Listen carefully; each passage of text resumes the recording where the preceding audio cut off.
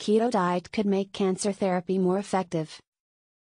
A new study in mice finds that the ketogenic, or keto, diet helps to eliminate the side effects of a new generation of cancer drugs.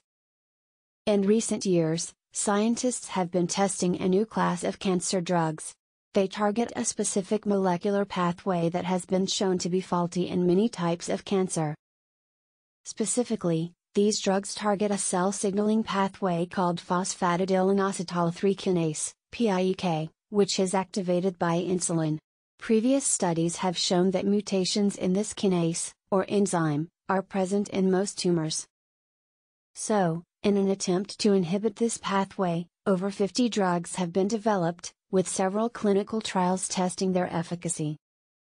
Thus far, however, the results of these trials have been disappointing, for the most part, the drug's efficacy is hit or miss, or their toxicity is too high.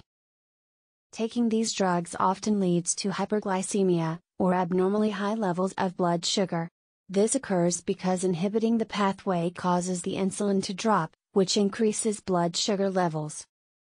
When the pancreas is unable to make up for the loss by producing more insulin, patients have to stop taking the drugs.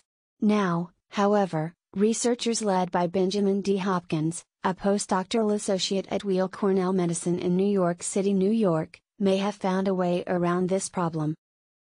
The trendy ketogenic diet, a diet high in fats but very low in carbs, may be the best way to boost the efficacy of these new generation therapies and avoid their side effects. The researchers published their findings in the journal Nature. Insulin affects the efficacy of cancer drugs.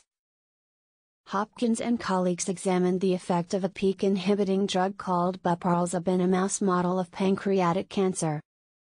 The model revealed that increasing insulin levels reactivates the PEEK pathway, defeating the purpose of the cancer drug. Reactivating PEEK in the tumor makes the drug relatively ineffective, explains corresponding study author Lewis C. Cantley, a professor of cancer biology and medicine at Weill Cornell Medicine. The rebound elevation in insulin is rescuing the tumor from death, he goes on. So, to counter this effect, the researchers decided to try a few different blood sugar and insulin controlling drugs. They treated one group of mice with diabetes drugs, and another with a ketogenic diet. A truly innovative approach to cancer. Of all the treatments tested, the keto diet performed best at both keeping blood sugar and insulin in check and simultaneously inhibiting tumor growth signals. The ketogenic diet turned out to be the perfect approach, says Hopkins. The ketogenic diet turned out to be the perfect approach.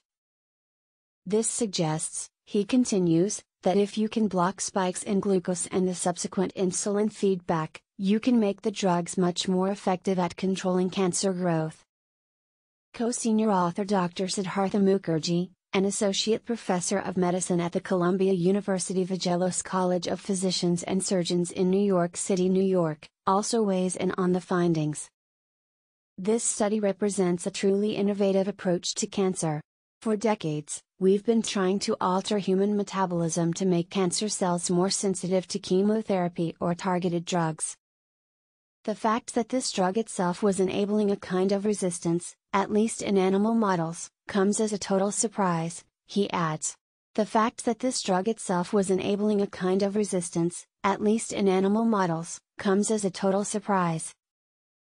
However, the authors caution that this is a combination approach, and that the keto diet on its own does not help to inhibit cancer but may even have the opposite effect.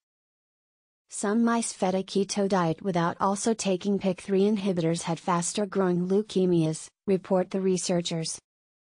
In the future, the scientists wish to take the combination therapy to human clinical trials for treating breast cancer, endometrial cancer, and blood cancer. We have to make sure there is not some unanticipated toxicity, Professor Cantley says, in any clinical trial for a drug that targets the PEEK enzyme, the patient should have their diet managed carefully.